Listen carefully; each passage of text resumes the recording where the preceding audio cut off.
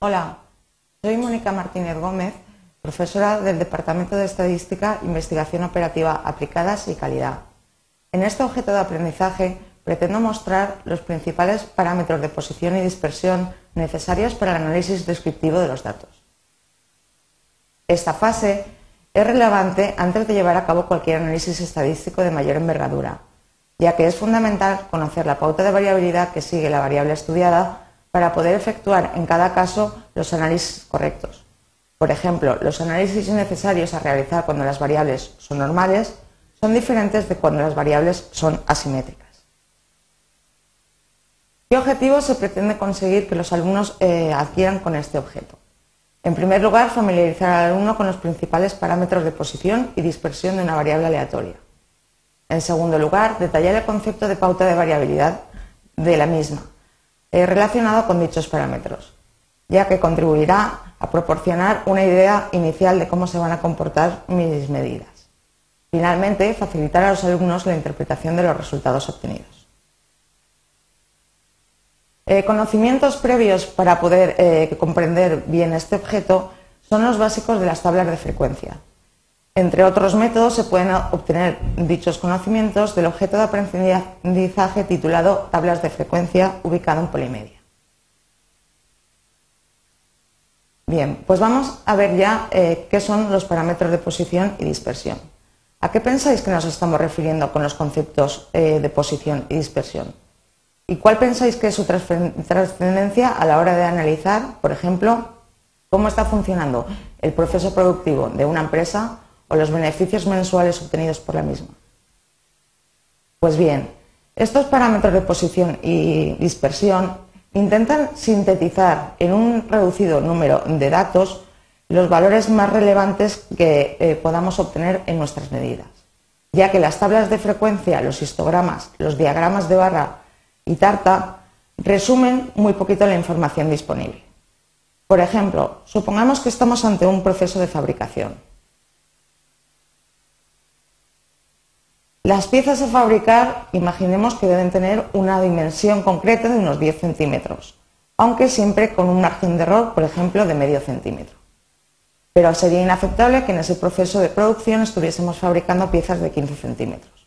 Pues bien, los 10 centímetros, que es decir, donde más frecuentemente deben caer mis medidas de fabricación, serían la idea de posición, mientras que el, margen de error permitido, es decir, el medio centímetro, estaría relacionado con el concepto de dispersión o variabilidad de mis datos. La variabilidad es un fenómeno de la naturaleza y un hecho que existe en cualquier proceso de producción ya que los datos siempre van a estar dispersos y nunca van a tener un valor constante. La pauta de variabilidad constatada en un conjunto de observaciones relativas a una variable aleatoria puede caracterizarse tanto por los parámetros de posición como por los de dispersión. Veamos intuitivamente qué son estos dos conceptos. En estas dos gráficas se intenta mostrar un histograma sintetizados por la curva eh, de frecuencias o la campana de Gauss y vemos que la posición sería la parte más amplia de esa campana. En este caso se observa que la posición es distinta, ambas eh, curvas de frecuencia tienen posiciones diferentes, pero la amplitud de la campana es la misma en ambos casos. Es decir, se tendrían distinta posición pero idéntica dispersión. En el siguiente caso, la parte más amplia de la campana sería la misma en las dos eh, series de datos, sin embargo, la campana azul es mucho más amplia, tiene mayor dispersión. Finalmente nos podemos encontrar con datos que ni coincidan en posición ni en dispersión. Pues bien, conocido de manera intuitiva eh, los conceptos de posición y dispersión, vamos a definirlos más estrictamente ambos conceptos. La posición intenta sintetizar la información existente en los datos de una variable aleatoria en un número que da una idea clara sobre la posición de los mismos. Los parámetros más relevantes y los que vamos a tratar en este objeto de aprendizaje van a ser cuatro, la media, mediana, cuartiles y moda. Vamos con el primero de ellos. La media está definida como la suma de todas las observaciones dividido por el número de datos. Es una medida adecuada cuando mis, datos proceden de una distribución normal. Este parámetro de posición cumple dos propiedades trascendentales. La primera de ellas es la de la combinación lineal, es decir, si existe una variable z definida como combinación lineal de una variable x y una variable y, se verificará que la media de z está definida como la combinación lineal de la media de x y la media de y. La segunda propiedad es la de la transformada lineal, es decir, si tengo una variable y que procede de una transformación lineal de una variable x, se cumplirá también que la media de y cumple la transformación lineal de la media de x. Sin embargo, en distribuciones asimétricas, la media no es un buen indicador de posición. Y veamos un ejemplo del por qué. Al preguntar un viajero a un botones de un hotel que qué propina media le habían dado eh, ese día, él respondió con unos 60 euros. Efectivamente, de los 11 viajeros a los que atendió, 10 le habían dado un euro y uno 600. En este caso, ¿la media sería un buen indicador de posición? No, efectivamente la media estimada sería de 60 euros, pero el valor de posición que más frecuentemente representa mis datos sería el euro. En consecuencia, vamos a definir ya el siguiente parámetro de posición más adecuado para las distribuciones asimétricas. Este parámetro es la mediana. La mediana es un parámetro adecuado cuando en mis valores existen medidas extremas. ¿Cómo podemos obtenerlo? Pues para obtenerlo debemos ordenar los datos de menor a mayor, ya que para estimarlo jugamos con la posición de los datos y no con el valor, de manera que eh, dependerá de si n es par o impar para su cálculo. En caso de n par, sería la media de los dos valores centrales. En caso de n impar, sería directamente el valor central, es decir, aquel que ocupa la posición n más 1 dividido entre 2. ¿Qué características cumple esta mediana? Pues entre otras, la mediana es eh, el dato que te deja por debajo el 50% de las observaciones y por encima el 50%, es también denominado segundo cuartil, es menos sensible a los datos extremos y es adecuado en, el caso de eh, distribuciones asimétricas. Bien, estamos hablando eh, bastante tiempo de normalidad y asimetría y no hemos definido estos conceptos. Veamos intuitivamente eh, qué significa normalidad y asimetría. Y veámoslo con las curvas de Gauss. Una distribución normal presenta una curva de Gauss totalmente simétrica con los datos descendiendo aproximadamente simétricos a ambos lados de la media. En este caso, media y mediana coinciden. Sin embargo, el histograma de las distribuciones asimétricas tiende a tener una forma con una especie de cola hacia la izquierda o hacia la derecha en función de que presenten simetría eh, positiva o negativa. En estos casos, la mediana estaría situado en la parte más amplia de la campana y por contra, la media estaría por delante las distribuciones asimétricas negativas y por detrás en las positivas. Bien, pasemos a ver el tercer eh, parámetro de posición. El tercer parámetro de posición son los cuartiles. El primer cuartil, y se representa por C sub 1, es aquel valor que me deja por debajo del 25% de las observaciones y por encima del 75%. Por contra, el tercer cuartil, y se representa por C sub 3, es aquel, valor que me deja por debajo el 75% de las observaciones y por encima el 25%. El segundo cuartil coincide con la mediana y es aquel valor que me deja el 50% de las observaciones por debajo y el 50% por arriba.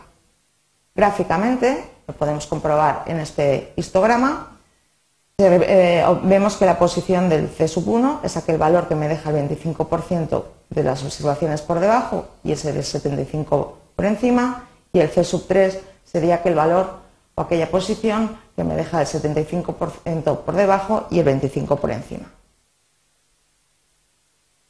Bien, existen unas fórmulas para el cálculo de los cuartiles en función de que n sea par o impar y que n-1 partido por 2 sea par o impar. Dichas fórmulas las podéis eh, obtener en esta transparencia.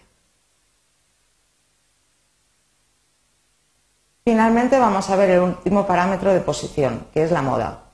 La moda de un conjunto de datos es el valor que corresponde a la mayor frecuencia de aparición. Características de esta moda, pues una vez obtenida la tabla de frecuencias es muy sencilla de calcular, ya que se puede obtener generalmente por inspección, vemos dónde está la mayor frecuencia y no requiere cálculos excesivos numéricos. Con los datos agrupados, eso sí, el cálculo de la moda dependerá del número de intervalos eh, seleccionados, de la amplitud y de los límites. Bien, conocidos los parámetros principales de posición, hemos eh, visto al principio que la pauta de variabilidad requería también el cálculo de unos parámetros de dispersión, es decir, conocer la variabilidad que voy a presentar en mis datos. Veamos un ejemplo.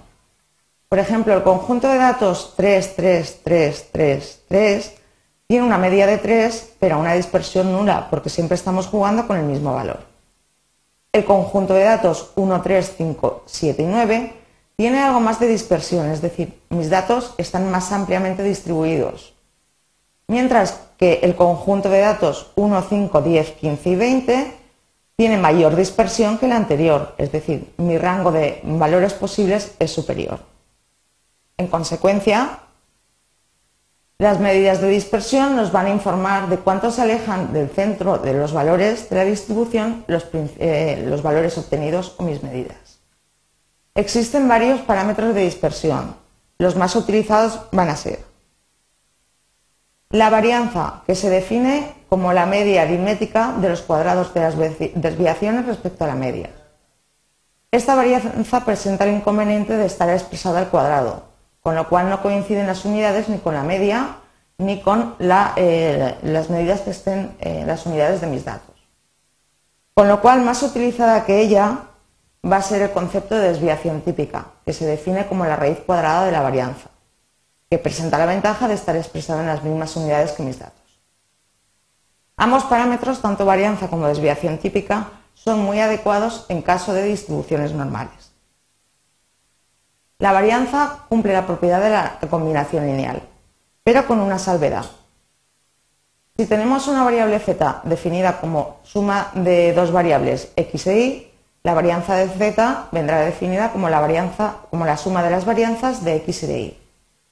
Por contra, si mi variable z está definida como diferencia de x e y, la varianza de z vendrá también definida como la suma de las varianzas de z e y ya que al estar mezclando datos de dos variables, los de x y las de y, mi variabilidad probablemente debe tender a aumentar.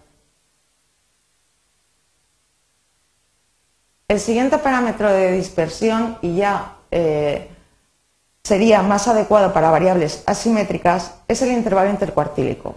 El intervalo intercuartílico se define como la diferencia entre el tercer y el primer cuartil se representa por I sub I o R sub I.